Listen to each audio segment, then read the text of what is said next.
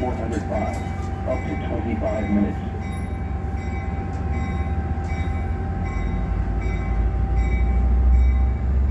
Expect delays up to 50 minutes for train 107.